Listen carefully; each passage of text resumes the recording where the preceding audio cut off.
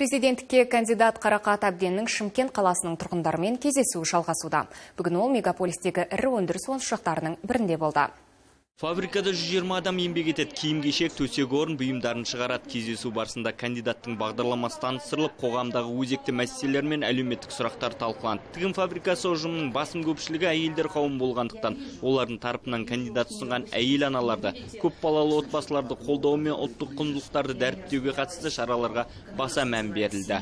Отбасы мен аналардың әлеуметтік мәселелері бұл ел экономикасын дамуын көрсететін бірден бір көрсеткіш. Менің сайлауалды бағдарламамда бұл сұрақтарға көп көңіл бөлінген. Қазіргі кезде отбасы институтын жан-жақты нығайту, оның мәртебесін арттыру, көпбалалы аналарға қолдау көрсету ерекше маңызды деді үміткер. Бұдан кейін кандидат Еуропадағы қауіпсіздік және ынтымақтастық ұйымы тарапынан келген байқаушылармен кездесті. Алдағы саяси науқан төңірегінде пікір алмасып, ой пікірлермен бөлісті.